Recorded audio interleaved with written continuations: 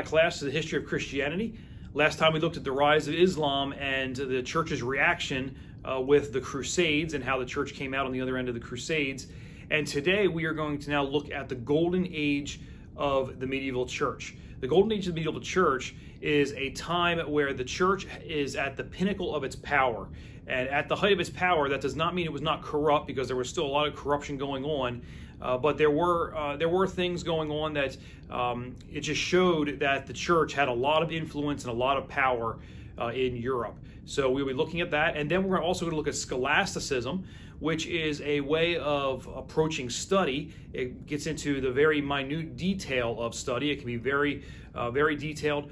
And, uh, and we will look at how the medieval universities, uh, or the church and theologians, but also universities, began to approach uh, the way that they studied uh, the material in front of them. It's called scholasticism. So stay tuned for the PowerPoint. Okay, class, we're now going to move into the PowerPoint on the Golden Age and scholasticism.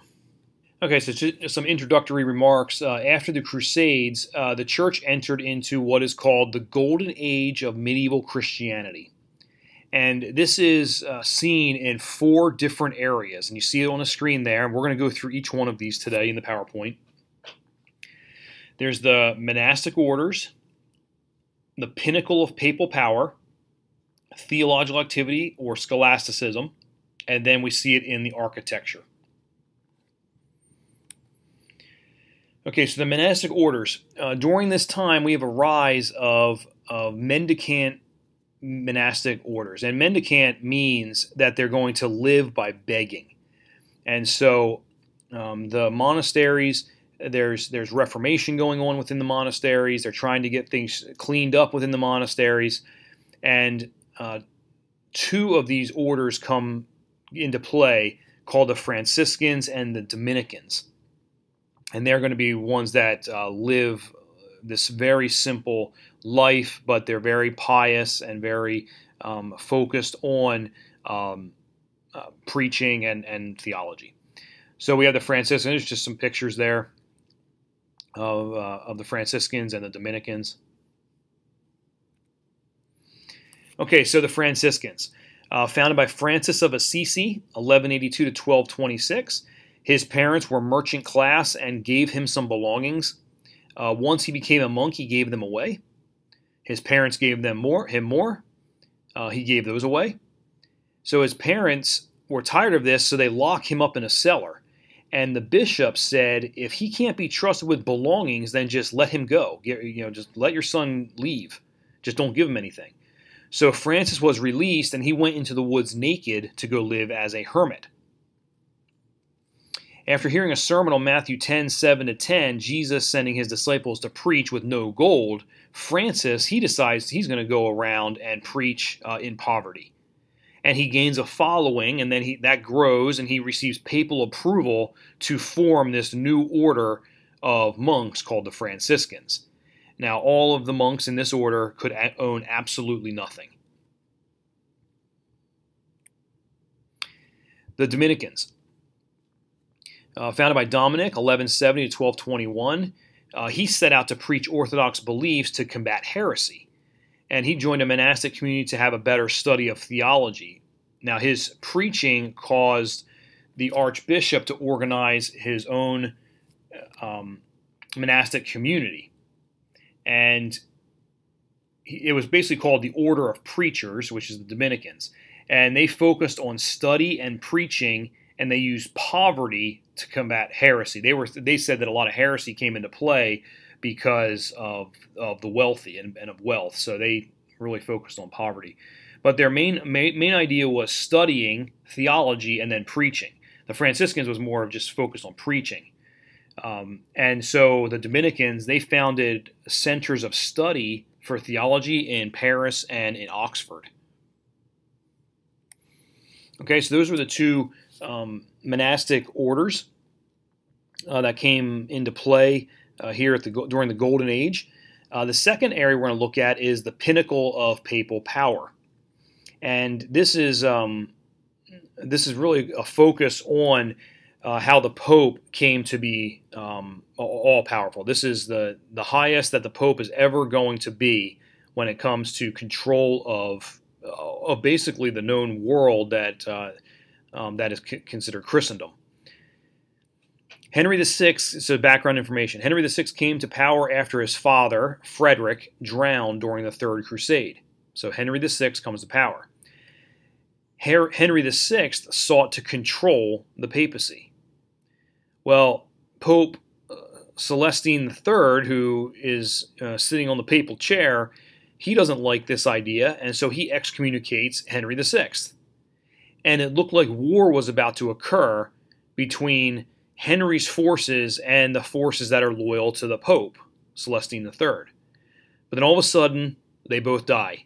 Henry VI dies, Pope Celestine III dies, and it's time to select a new pope. Well, the cardinals select a new pope, and his name is Pope Innocent III. And I have him highlighted in yellow for a reason. Uh, he is the most powerful pope in history. And there's a couple of pictures here. Um, the one on the left is by painted by Raphael, and this is Innocent III here in the center. And you see he's got the three-tiered uh, papal crown on. Uh, the the one crown was for um, for ruling the princes. The second crown was for ruling the world, and the third crown was because he's vicar of Christ. So he's got the papal tri crown on, and then this is just another picture of them giving him homage. All right, so we're going to look at what Innocent III did to basically become in control of, of uh, Europe.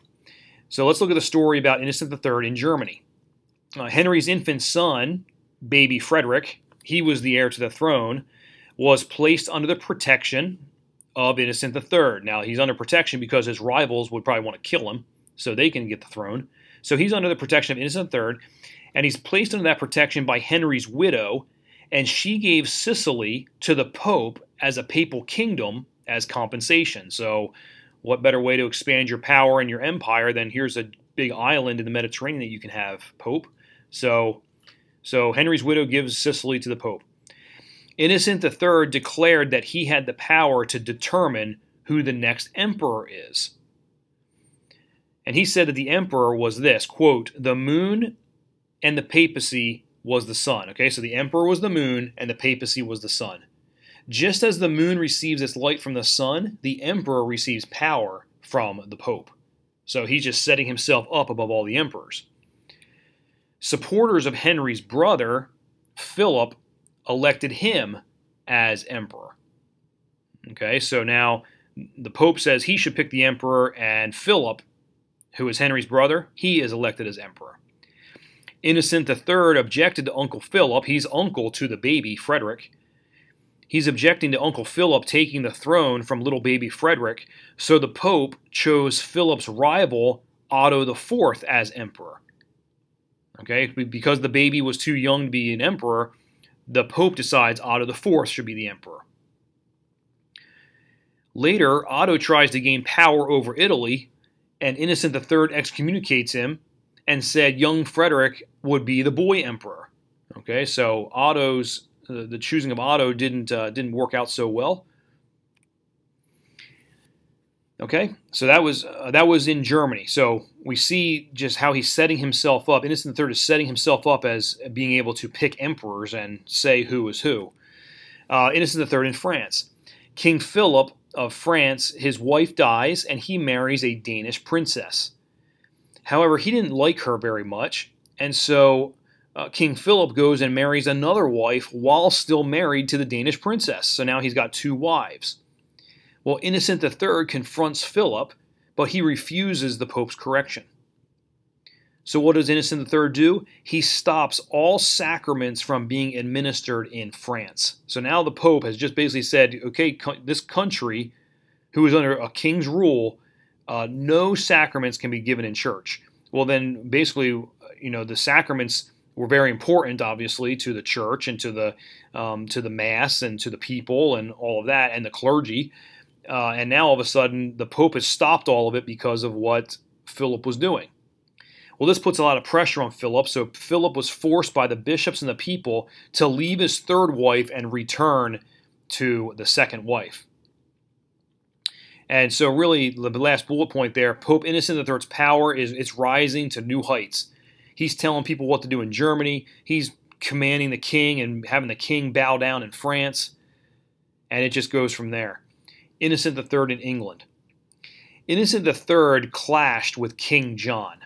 Now, King John is the brother of Richard the Lionheart, and Richard the Lionheart was the one that went on the Third Crusade. He's clashing with King John over who would be the Archbishop of Canterbury. Now, Canterbury is in England, and it's basically the highest uh, position of the church in England. Innocent III declared Stephen Langton was to be Archbishop, while John refused. So Innocent III excommunicates him and said he was not the King of England and called for a formal crusade against England. So now the Pope in Europe is going to bring a militant army up into England for a crusade. Now, John knew that he could not stop a crusade from Europe, and so he ended up capitulating.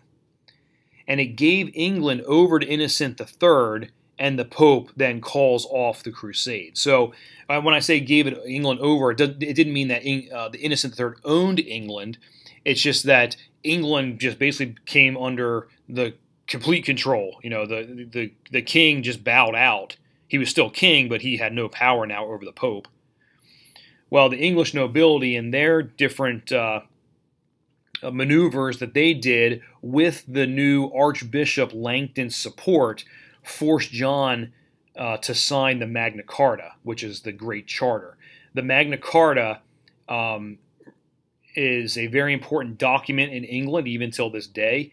Um, it, like we, we look at our Constitution in the United States as a very powerful document, and this is what we you know we base our, our country on. While England kind of looks at the Magna Carta that way. The Magna Carta really limited the power of the kings and put a lot of power back in the hands of the lords and those that own the land. And there's a picture of King John not very happy signing the Magna Carta. Okay, so we looked at Germany, France, and England, and now Innocent III uh, with some other power examples for him. Uh, he intervened in other kingdoms such as Spain, Portugal, Hungary, Denmark, and others, so he put his hands in a lot of pies. Uh, the Franciscans and Dominicans were founded and they grew under his leadership. Uh, he encouraged Spain to fight the Muslims because the Muslims had been, uh, you know, they crossed the Strait of Gibraltar down there from North Africa into the Iberian Peninsula, crossing over into Spain, and so to continue fighting the Muslims there. He was in charge of the Fourth Lateran Council of 1215, which is very important. Uh, the, this is the council that solidified that transubstantiation takes place when the clergy consecrates the bread and the wine. So this is where the bread becomes the flesh of Christ and the wine becomes the blood of Christ when when the mass is taken. So uh, they're called transubstantiation, and this was going to be a big thing, a big issue uh, during the Reformation. But the Fourth Lateran Council, 1215, established that under Innocent III. Uh, heretics would be destroyed. Schools for the poor opened under the headship of the church, and that was where basically um, churches should each it should have a school for the children to go and learn, uh, and if they were poor, they could still come to school. And then no new relics would be accepted unless the Pope approved that it was a relic. So these are some other power examples of Innocent III, and his power just was it was he was at the height of his power and the power of the popes. He was just in charge of everything. Innocent III died in 1216 and the succeeding popes kind of basked, basked in his power. Uh, Boniface VIII, who was Pope tw- uh, tw- 1294 uh, to 1230, that's a typo there. Uh, he wrote uh, uh, Unam Sanctam, which um, basically said that all earthly authorities must fall under the spiritual authority of the Pope. So, riding the coattails of Innocent III, Boniface VIII basically says no earthly authority is above the Pope. The Pope is above everything.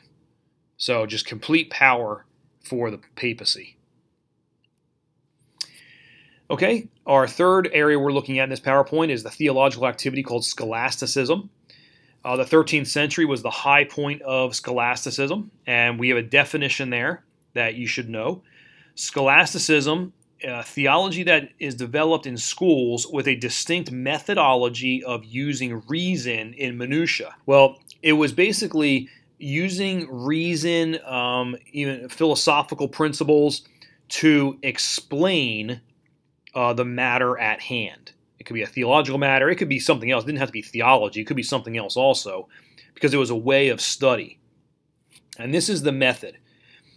And it, it broke down into minutia, which means into the, the smallest little particle of knowledge, if you want to look at it like that. So here's the methodology. I put it on the screen this way so you can kind of understand it. So here's the method. You have a traditional topic that is questioned. And then what happens is the person comes up with different answers or oppositions and they're posed. So you have a topic and then you come up with different positions on it, either answers or oppositions or different positions on it. And then each one of those is a given a counter argument to answer or push back against the previous the answer or the opposition. And then those counter arguments there's rebuttals given to each one of them for each counter argument, and so on. And the rebuttals have it until basically you've exhausted the uh, the matter at hand that is being studied. And so you can just imagine if you have a traditional topic, and then the different answers are given. Let's say three answers for it, so A, B, C, or three answers given for this traditional topic. And then each one, A, B, and C, are given, let's say, two counter arguments. So then you have AA under A, BB under B, CC under C. Okay? And then these counter arguments are given rebuttals. So you have CCC under CC under C, or AAA under AA under A. And it, it just spreads out like a, almost like a family tree. It just, just spreads out. And each one of these uh, areas, the answer, the counter argument, the rebuttal, they would be explained. And so when when you get to this kind of method, it becomes very detailed and very laborious to to even to not just to even to do it, but when someone is preaching, let's say, preaching theology in a scholastic manner, you can have sermons with with 15, 16 different points to it, or even more. Um, there were some sermons that went up to 40, 40 different sermon divisions.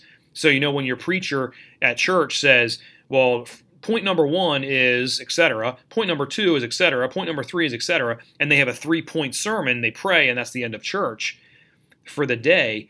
Well, in scholasticism, a preacher could have like 40 different points in his sermon. So it gets it's, it's very detailed. That's the the method um, called scholasticism. Uh, it first began in monasteries, but then spread to cathedral schools and then from cathedral schools that spread to the universities. And we have a couple of scholastic leaders that we need to look at here. Um, I have three on this screen, there are pictures coming up next. Anselm of Canterbury, 1033 to 1109. Uh, William the Conqueror, who conquered England in 1066, which basically uh, created England. Uh, he called Anselm from Normandy, which is in France. He called him over to England and said, You're going to be now the Archbishop of Canterbury. But they soon clashed over the church authority, and Anselm was exiled, and he spent the rest of his life in exile meditating and writing. And he really developed the scholastic method. He, he applied reason to theology and questions uh, of the faith. So a, a, question comes up, and so he reasoned it out and comes up with these different arguments and so on. That's Anselm. Uh, Peter Abelard, 1079 to 1142, he had a solid education. He went to Paris and was entrusted to teach the niece of a church official. Her name is Heloise. So he's going to teach Heloise. Well, he does more than teach. Uh, Peter and Heloise, they become lovers, and she bears him a child. Well, the church official hired some thugs. That church, the church official, um, I guess it's uh, Heloise's uncle, uh, he he's very upset. He hires some thugs. They break into his room at night and they castrate him. Uh, so what does he do? He goes and enters a monastery. And in the monastery, he writes uh, a work called Yes and No. Uh, this work, Yes and No, by Peter Abelard, is 158 questions explained scholastically. So you can just imagine how detailed that that book um, got. So 158 questions. I mean, imagine one one question is a chapter of that book, and then it's explained out how how lengthy and how detailed this could really get. Peter Lombard, 1096 to 1160. Uh, he wrote four books of sentences. Uh, this was a systematic theology, which is written in the scholastic method. So, again, very detailed. And it became a widely used textbook on theology. Okay, so there they are Anselm of Canterbury on the left, Peter Abelard with Heloise in the center, and Peter Lombard, who is very talented because he can write with both hands at the same time, um, there on the right. Scholastic leader continued. So this is our fourth guy. I'm sure you've heard of him, Thomas Aquinas, 1225 to 1274. He was from an aristocratic family in Naples, which is in Italy. Uh, he studied in Monte Cassino, which was a, um, a monastery in um, central Italy. Uh, sits way, it used to sit way up on top of a mountain until it was uh, bombed uh, to oblivion in World War II. 1244, uh, he became a Dominican. His parents objected and locked him in the basement. That's a favorite thing for parents to do when your kid wants to become a monk, lock him in the basement. Well, he escapes and he went to Cologne to study, and then he went to Paris. He was called the dumb ox because he was a, um, a he was a big guy and he was a, kind of a quiet guy, and however he was a brilliant uh, Catholic theologian. So he was called the dumb ox. Um, wrote uh, Summa Theologica, which became the standard theology of, Catholic, of the Catholic Church for centuries. Uh, I, we don't have time to go into what he did, um, but just today, uh, his theology is in the Catholic Church. Uh, his some of his sayings are in the liturgy of the Catholic Church today. Uh, he was very influential theologically uh, on the Catholic Church, which lasts all the way till today. Scholastic universities uh, became prominent beginning in the 13th century, and they grew from the theological schools. And so what happened was um, the schools were basically you you would go there to be taught theology. That's what the universities did. But then they started adding in other things such as arts and philosophy and other disciplines into the universities to be, have more of a, a kind of like a liberal arts feel and different uh, avenues of study and there was a variety of degree levels offered. Uh, but one thing is that if you wanted to get your doctorate at one of these schools, it would take 14 years from the time you entered the university to a, attain a doctorate. Intense study um, took place of ancient philosophy, and a lot of times that was used to explain theology, which in the scholastic method would cause it to um, delve into different levels of reasoning, continuing to the minutia. Uh, here's Cambridge University, uh, founded in 1209. Uh, this is Cambridge today. It's the oldest university in England. Um, and if you uh, are interested in Cambridge, you can go look that up on the internet and see the history of Cambridge University. Okay, so our final portion of this PowerPoint is going to be architecture of churches in the, the Golden Age uh, church buildings began to take on a distinct architecture. And it basically centered around the transubstantiation of the elements of the Lord's Supper.